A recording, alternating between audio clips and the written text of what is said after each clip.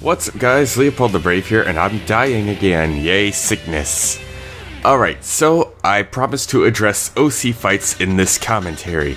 So if you want to hear about it, wait till after I'm done talking about blah blah blah. Just kidding, I'll talk about it now. Uh, I'm not gonna pull a ScrewAttack on you. Anyways, about OC fights. I know a lot of people on my community and in videos have been requesting its return. And I'm going to tell you right now, it will come back. It will come back. I know it sounds like I'm making this up because it's been so long since I've done an OC fights, but it will come back. The issue is, you know, this October, next month, basically, I'm working on the month of fictional fights, like just celebrating the one year anniversary of the show. And I basically have four episodes I'm working on at once right now. Well, three episodes now. It was Zim versus Keroro, the next fight, which is Buzz versus Fox. Uh, there's the GTA 5 Battle Royale that I announced in the last update. And there's one more special fight that I'm gonna keep secret, but you already know about. Like, everyone knows it's going to happen. because I've already announced it publicly multiple times. But for those who haven't heard, I'm keeping it suspenseful. So yeah, it's basically just the fact that I've been extremely busy with doing so many episodes at once. Usually I do two at the most, so I thought, hey, I can normally breeze through two episodes. This is easy. Maybe if I double up, it, I'll have a bit more to do, and I can still have some free time to do extra stuff. Nope, this is taking up all my time. So yeah, four episodes at once is not fun. But as soon as that special fight after Buzz vs. Fox is up, I'll definitely be doing my best to get back on track with the OC fights. Because I know a lot of you have been wanting it and missing it so bad. But don't worry, I'll get back to it when I'm less busy, which will hopefully be after the special fight. I can't breathe, my nose is clogged, I'm sorry. Oh, I'm gonna die. But yeah, that's the deal with OC fights. Basically, I'm just busy. I know I made it seem like a big deal, like a big reason to why it's not happening right now. But really, it's just because I'm pretty busy. So yeah, that's about it. That's about all that's that's all there is to know about OC fights. I'm just busy right now. I wish I could say more about it since you guys have been asking for it to come back after so long, but that's all I can really say is that I'm too busy trying to get stuff ready with the main show to work on the spin-off show. But that's not because of the regular schedule, it's because of the preparations for all the special stuff I was planning to do in October. So that that's it. I wish I could say more. I'm sorry, but that's that's the deal, yo. I'm just busy. So as for Zim versus Keroro, this was a very fun episode for me to do. And to be honest, I really wish Keroro won because I love Keroro way more than Zim. Because the humans actually do stuff and aren't just stupid. Like the the world of Keroro is just very dumb spirited. Like you can have cartoons that are mean spirited, but Keroro's uni I mean Zim's cartoon is just dumb spirited. Like everyone is dumb except the main characters. So it does kind of get a bit tiring. And plus Zim always kind of seemed like just that typical hot topic scene kid type of cartoon. That's something I would probably watch till the day I die. Like I like it now, and I really liked it when I was younger but I can tell my interest for it is fading because it just seems like that normal hot topic thing. Like it's good because it's edgy. Whoa. I mean, don't get me wrong, I love Jhonen Vasquez and his work, but eh, Invader Zim to me just doesn't have that lasting factor like most cartoons do. As for Sergeant Frog, though, it makes me laugh every time. Even if I watch an episode that I've seen a million times already, it still makes me laugh like crazy. So Sergeant Frog to me is just timeless, which kinda is funny because it makes a lot of dated references that people won't get in 20 years, but eh, I like it. I like it more. Holy cow, I am dying. I honestly cannot breathe through my nose. This might be the short. This might be the shortest commentary ever. Hold on, I'm gonna take a breather for a few. Just, just a moment. I'll be back for the commentary. Ah. His jetpack can even fly across a planet-sized strip in mere seconds. Breathe in. Of the Irken doesn't end with. Breathe out. There's also durability.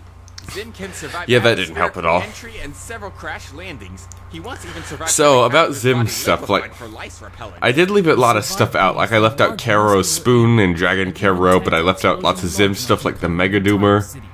He and, you know, just all that stuff. Still manages to fail against It's I tried to leave out the one episode stuff for the stuff that's seen very very rarely that they don't bring into normal combat because these two have a lot of stuff to cover and half of it or 90% of it wouldn't change the outcome. So I just stuck with the pack and Karo. Now I know Zim's only used his organ harvesting device in one episode, but it is like part of his pack. Kind of like the reactivation, so It counted. look a lot It's like, like- Earth creatures. kind of like the planet busting button on the Tails ball. Like I included it, with an extra tail. even though Karo Even only brought it up once. Uh, no, humans are the ones that look like. Anyways, why didn't But no, I use the planet more busting sensitive Karo to ball for the fight? frog alien known That's because I don't know how the planet busting function works on the Karo Ball because it's never been used before. Like, is it specifically designed to just destroy planets, or does it shoot a laser that destroys planets? Because if it shoots a laser that destroys planets, then yeah, he could have used it on Zim. But what if by destroy planet it means just dematerializing the planet? Because it does have a materialization option, and it can dematerialize stuff, but I was like, so does it actually destroy the planet or just dema- dematerialize it? So I didn't know how the planet busting function worked, so I don't think I could have actually used it. And as for Dragon. Karo and the spoons, for those who don't know, Karo has spoons that change his size. He can grow super big, but he, he would still lack the speed and destructive capacity to finish off Zim and both Dragon Karo and the spoon thing. And plus, the spoon isn't part of his standard arsenal. He doesn't carry it around everywhere he goes, like he does the Karo Ball. electricity, and it even has In fact, he doesn't even North carry the Star. Karo Ball everywhere he goes. Fuyuki has it most of the time because he took it from Keroro in like the first episode. And he just hangs on to it. I mean, Keroro sneaks it away every once in a while, but Fuyuki mostly has it. There's also a planet destroyer, So yeah. but it hasn't been used yet. There's not much The whole for Sergeant. Frog thing is just kind of odd because it's such a big universe and some things get used so rarely, and there's so many things to use. So I tried to use like his most standard arsenal, like the most standard arsenal possible for Keroro. Just like I did for Zim, because lots of his stuff was one episode only.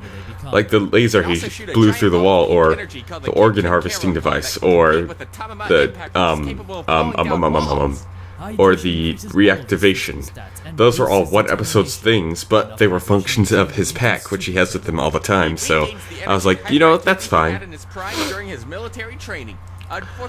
Uh, next fight, Buzz versus Star Fox. I am including vehicles, so Fox gets his Arwing and Buzz gets his Star Cruiser. Um, because lots of versus debate shows have used Fox, but have only done him on foot. And I'm like, you know what? His specialty is in the air. Let's let's let's bring up his ships too. See who's also the better pilot. So yeah, Buzz and Fox will. I don't know if they'll be using their ships in the animated fight, but I will be including their vehicles in the research.